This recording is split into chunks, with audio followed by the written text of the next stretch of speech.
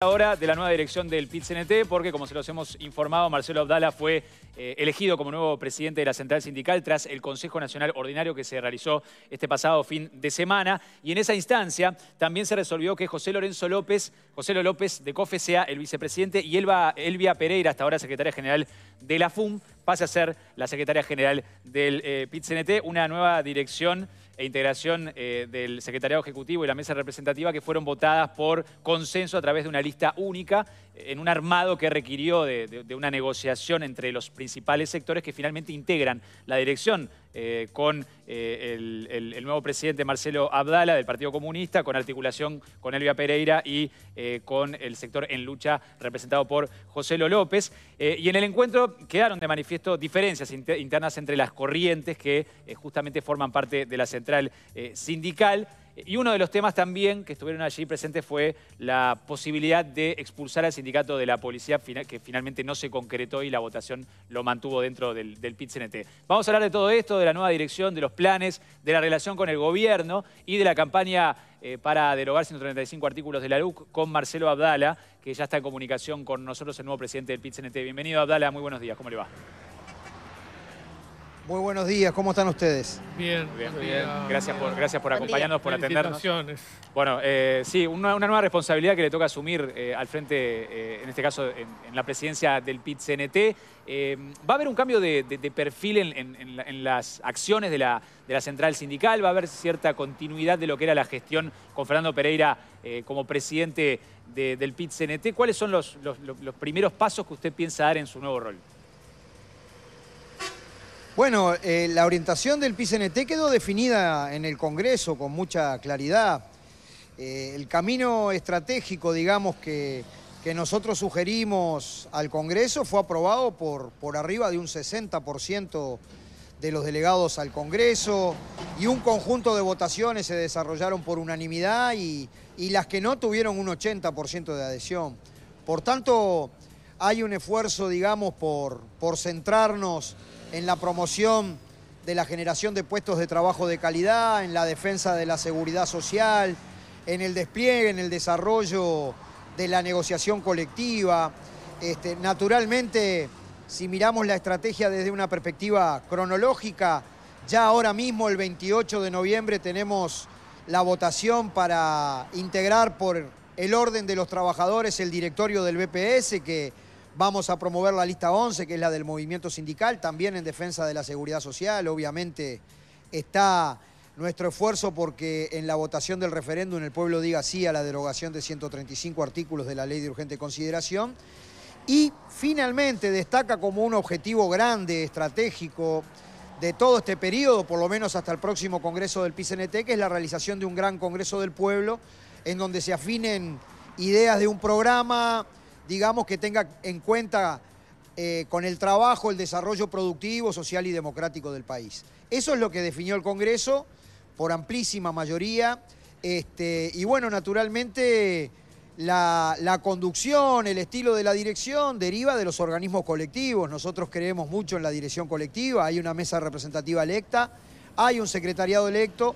Vamos a trabajar en equipo con todas las compañeras y los compañeros. Pero hoy, hoy, por ejemplo, si se leen algunas crónicas, estoy pensando, por ejemplo, en una nota del diario El País, se habla de, un perfil de, Marcelo Abdala que puede ser un poco más radical que lo que venía ejerciendo Fernando Pereira. Eh, ¿Usted este, cómo, cómo ve ese tipo de análisis? Bueno, son válidos porque tiene que ver con, con observaciones, con, con distancia del quehacer del movimiento sindical. Yo entiendo que ser radical es hacer un esfuerzo en todo momento por analizar la raíz de los problemas. Pero eso no implica, digamos, que, que las posiciones que nosotros sostenemos como movimiento sindical no estén este, permanentemente vinculadas a la interlocución tanto con las cámaras empresariales como con los sectores del gobierno, con, digamos, con los distintos ministerios con que se involucra el movimiento sindical.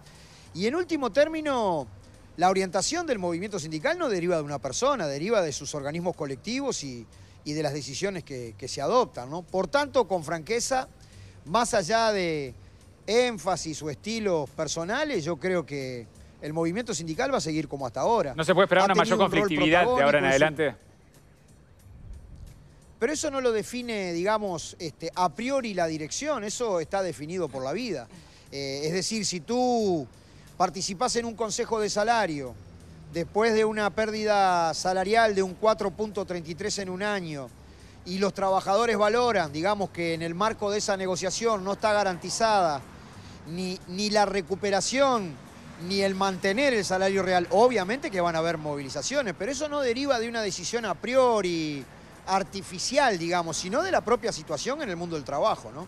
Por tanto, yo no preveo, no preveo en ese sentido, digamos, ruptura, sino este, continuidad y transformación al mismo tiempo. ¿no? El movimiento sindical se renueva permanentemente, en tanto en el mundo del trabajo entran nuevas generaciones de trabajadores.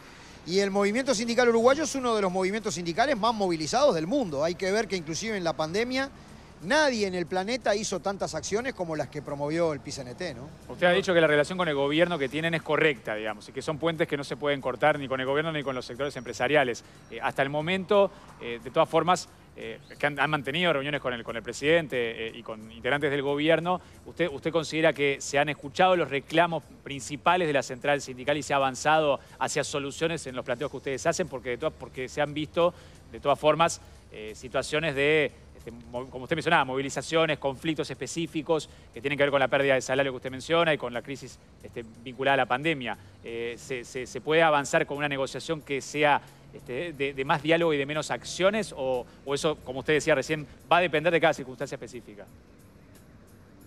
Sí, yo creo que depende de la situación concreta, ¿no? Nosotros sostenemos que el diálogo es un valor muy importante en el país, que esta es una sociedad, digamos, que tiene la virtud que Aquí todos nos conocemos y todos podemos hablar con todos desde, el respeto.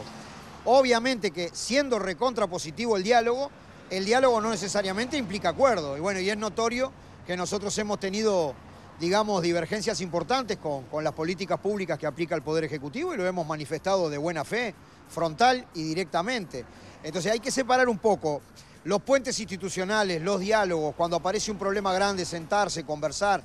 Bueno, eso me parece que le hace bien al país de ahí a que hayan acuerdos de carácter general, bueno, hay una distancia bien importante. Ahora, más allá de que se dice que hay una continuidad, en el movimiento sindical hay tres corrientes bien determinadas y de hecho toda esta mm, lista única o todo este acuerdo requirió de una negociación entre esas tres corrientes y esas tres corrientes se reordenan de una manera distinta. El Partido Comunista que no tenía la presidencia pasa a tenerla ahora. ¿Eso no va a significar ningún cambio? Yo no creo porque yo tengo una pertenencia política e ideológica que es muy clara, como, como tú sabes, este, Leo, pero el PCNT no es una coalición de corrientes o una coalición de partidos políticos. En el Estatuto de la Central se reconocen las distintas corrientes de pensamiento, pero cada uno vive la vida de acuerdo al mundo de la vida en que, en que actúa. Este, y yo soy representante de los metalúrgicos en el PCNT. Por tanto, hay otras dinámicas que tienen que ver, digamos, con, la unidad en la diversidad de todos los trabajadores, este, que, no se pueden asimilar mecánicamente a como si el PCNT fuera una coalición de corrientes. Entonces, eh, lo que yo voy a hacer, con mi impronta personal, porque yo no me escondo, digamos, pero es lo que vayan a resolver los organismos, este, porque nadie está por arriba de los organismos.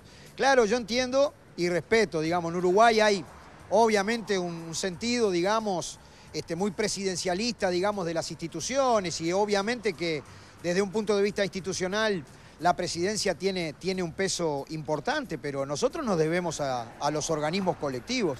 Yo te pongo otro comentario. Cuando Fernando era presidente del PCNT, él no hacía absolutamente nada sin consultar mi punto de vista, es decir, trabajábamos perfectamente en equipo. Y yo aspiro a que eso se desarrolle no solamente con Elvia, que va a ser la secretaria general, y Joselo, el vicepresidente, sino con todas las compañeras y los compañeros del secretariado y de la mesa representativa. ¿no? Ahora, si bien... El PCNT es la organización social más importante del país y yo creo que requiere un salto cualitativo. A mí lo que, lo que me gustaría es que toda la dirección asuma labores centrales desde el punto de vista de la conducción del PCNT. Ahora, eh, ayer de noche decías en, en Telemundo que eh, te había llamado Pablo Iturralde, que no te había llamado la calle Pou y que vos tampoco ibas a, propiciar un encuentro con el gobierno, una reunión con el gobierno. ¿Por qué? Bueno, yo cuando precisé, siendo secretario general del PCNT, conversar con el presidente no tuve ningún inconveniente. Y él tampoco. Este, me mandó ayer este, un reconocimiento, una felicitación. Bueno, no solamente al ministro de Trabajo, Mario Aristi, que es el subsecretario, Daverede, que es el director nacional de Trabajo, Álvaro Delgado. Este, ¿Qué significa? ¿Cómo entiendo yo esa, felicitación? Ellos son ellos y nosotros nosotros. Digamos, pero hay, este, cuando se precise hablar, por supuesto que los puentes están abiertos.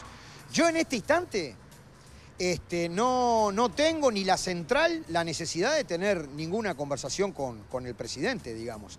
Este, cuando aparezca algún elemento donde el movimiento sindical requiera tener tal o cual conversación, por supuesto que no tengo inconveniente eh, si lo tengo que llamar en llamarlo y si él me tiene que llamar, por supuesto este, a la orden, ¿no? Pero fíjate que nosotros salimos de un congreso, estamos entramando la dirección, tiene que haber, primero que nada, digamos, una reunión de la mesa representativa, este, hay que ver todas las responsabilidades de las compañeras y los compañeros en el secretariado, se debe respetar las definiciones que adoptó el Congreso, porque ellas son ley hasta el próximo Congreso. Bueno, hay mucho trabajo para, para hacer. No dudo que nosotros tengamos en algún momento un encuentro importante con el Poder Ejecutivo, pero este, no, es en este instante. ¿no? Lo prioritario ahora para el PIT-CNT es la, campaña por el referéndum contra los 135 artículos de la LUC. ¿En eso se van a focalizar en los próximos meses? Sí, esa, esa ha sido una creación heroica, digamos, de, los sectores populares, porque esta ley, que es una ley ferrocarril, que implica todo un proyecto de país, con capítulos que tratan desde la estructura educativa hasta el chorizo artesanal. Este, no, no, pero el chorizo artesanal está afuera, ¿eh? El, chorizo artesanal quedó sí, afuera pero en la ley original...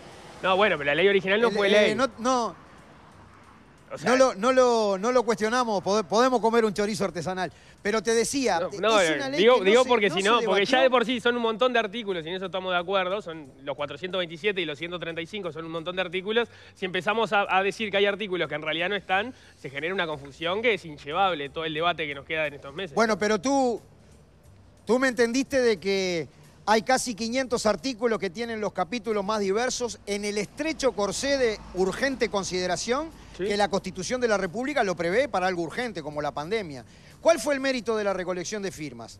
Porque esto fue un debate muy restringido en el, en el Parlamento y menos en la sociedad. Las firmas pusieron el tema arriba de la mesa. El gobierno, naturalmente, tuvo una táctica, es una decisión de ellos de no decir nada, de hacer silencio mientras recolectábamos firmas. ¿Cuál es la virtud principal de lo que se hizo? Es que ahora hay que debatir con argumentos, con rigurosidad, con respeto, pero lo que no se discutió, ahora hay que debatirlo. Entonces, como tú decís, decís bien, esta es una prioridad importante para el movimiento sindical.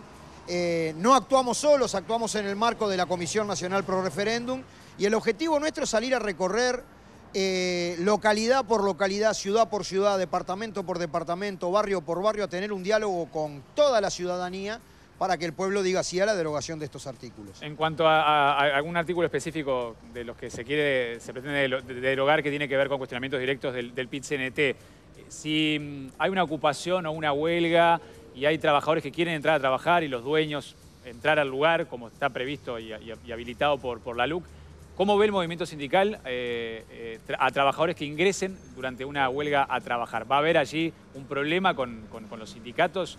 ¿Se cuestiona directamente eso por parte de ustedes? ¿O, también se respeta la libertad del que quiere entrar a trabajar y no forma parte de la reivindicación? Bueno, las, las acciones que nosotros desarrollamos no significa que siempre se cumpla.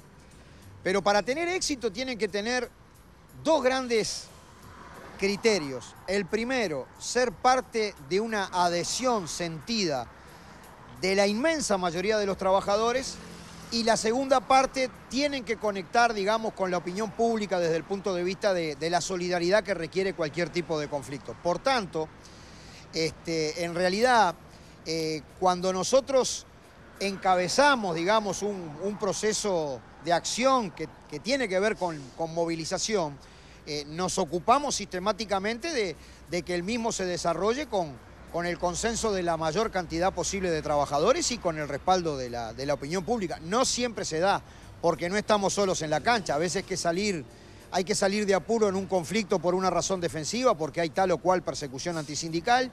Este, bueno, en cada caso se, los sindicatos, además porque esto no es la central, la central no dirige los sindicatos ni dirige los conflictos que se producen, siempre da una mano para encontrar salidas, este, tratan de, moverse de la mejor manera posible. ¿no?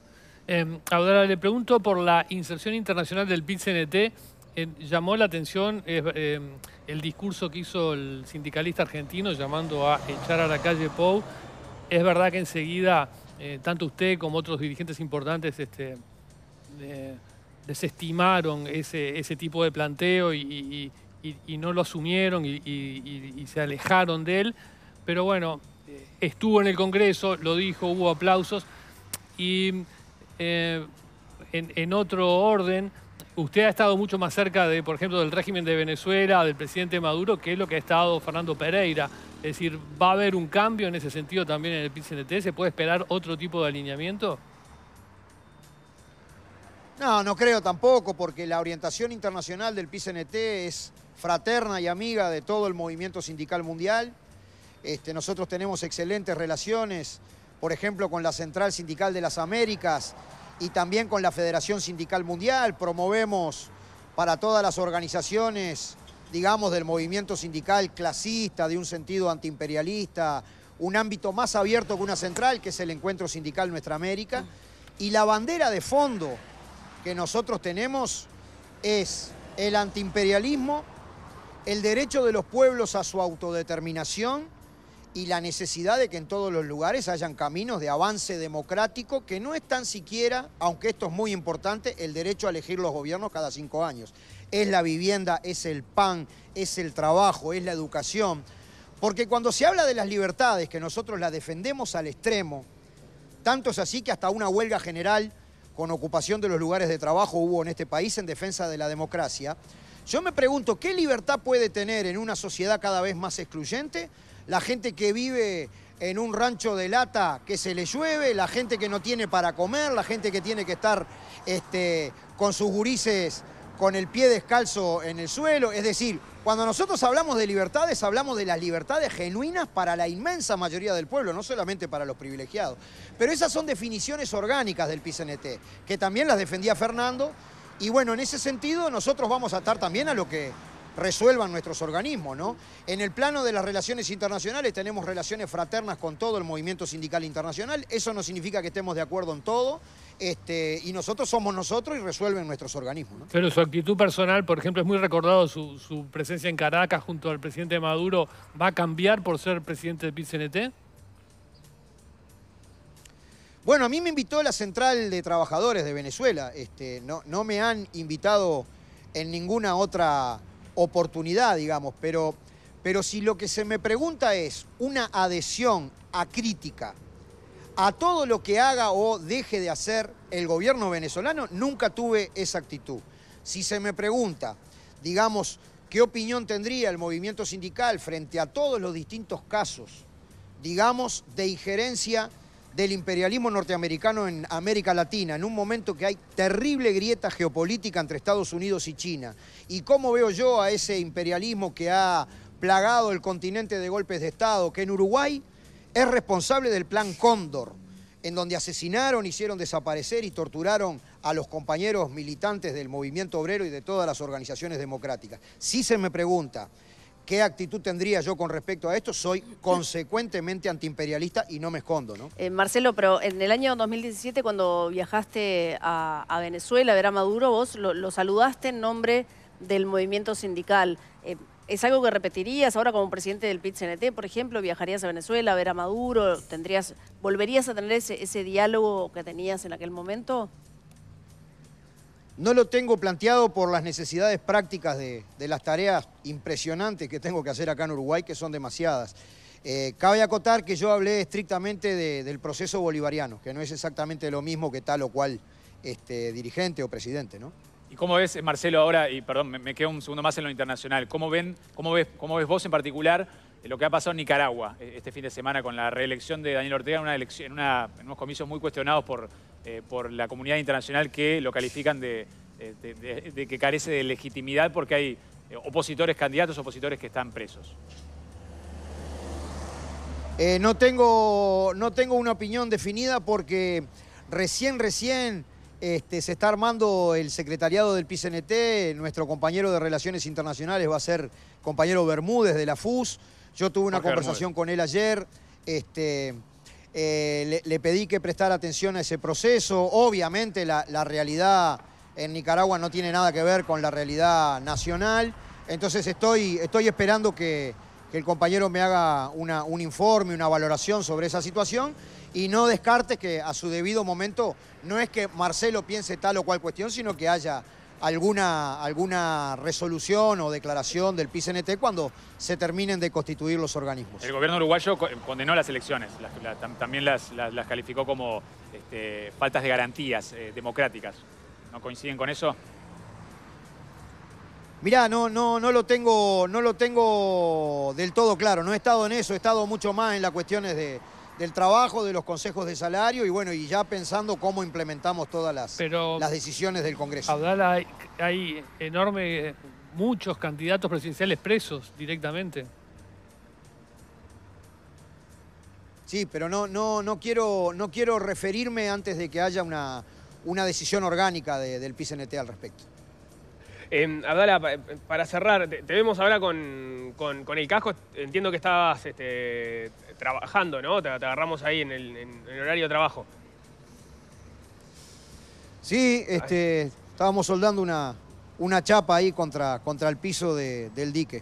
Eh, este ha sido un tema que, ha generado este, discusión, ha habido casos notorios de algunos legisladores del oficialismo que han cuestionado a, los dirigentes del PIT-CNT porque dicen que, no trabajan, entienden que, la, actividad sindical no, es parte del trabajo como, tal. En, tu caso, esta, esta definición de, ir a trabajar tiene que ver con estas discusiones que se han dado... Este, últimamente han sentido cierta este, presión para hacerlo, tiene que ver con, este, tus decisiones este, personales y parte de lo que has hecho siempre.